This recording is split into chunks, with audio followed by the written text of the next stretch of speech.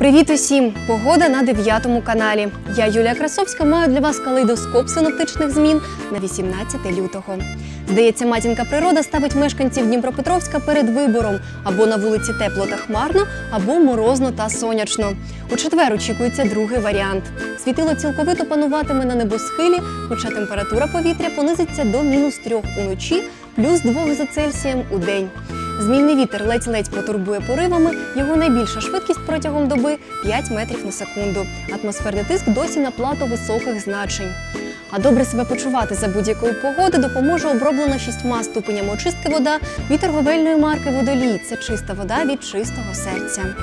По Дніпропетровщині всюди ясно, хоча південну частину області не оминуть легкі хмаринки. Опадів тут не очікується. Південно-східний вітер становитиме 6 метрів на секунду. А значення атмосферного тиску дуже високі.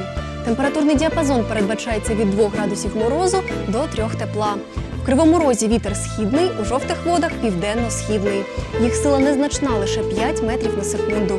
Інших погодних явищ на заході не очікується. Хіба що високий атмосферний тиск у цій частині області надвечір поступово повернеться до комфортних меж. Тим часом температура вночі спільна для обох міст 3 градуси нижче нуля. Денні показники різнитимуться 3 тепла в Кривому Розі та 1 із плюсом у жовтих водах. Відмінності погоди північних регіонів також у температурі за світлої пори доби.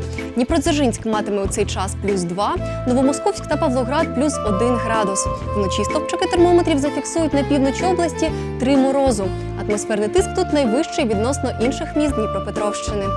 На тепер це вся інформація про погоду. Світлого вам настрою та сонячної усмішки. До завтра на 9 каналі.